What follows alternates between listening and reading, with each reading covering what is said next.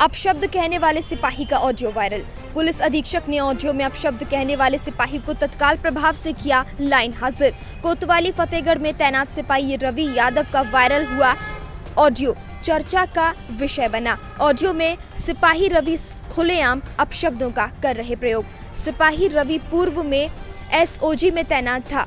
वहाँ शिकायत होने पर पूर्व एसपी ने उसे कोतवाली फतेहगढ़ में किया था तैनात। पुलिस अधीक्षक अशोक कुमार मीणा ने वायरल ऑडियो में सिपाही रवि यादव के अपशब्द ऑडियो को संज्ञान में लेते हुए की कार्रवाई। सिपाही को तत्काल लाइन हाजिर कर जाँच सीओ सिटी को सौंपी। जाँच के आधार पर ही सिपाही के विरुद्ध कार्रवाई की जाएगी। फरुखाबाद से आलोक त्रिवेदी की रिपोर्ट। सर, फतेहगढ़ का जो सिपाही का ऑडियो वायरल हुआ, उस समय में क्या था?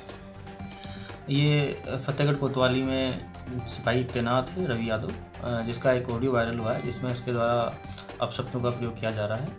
इसलिए उसे तत्काल लाइन हाजिर कर दिया गया है और सी ओ सी टी को इसके संबंध में जाँच दी गई है और जो भी विभागीय जाँच होगी उसके आधार पर आगे कार्रवाई की जाएगी।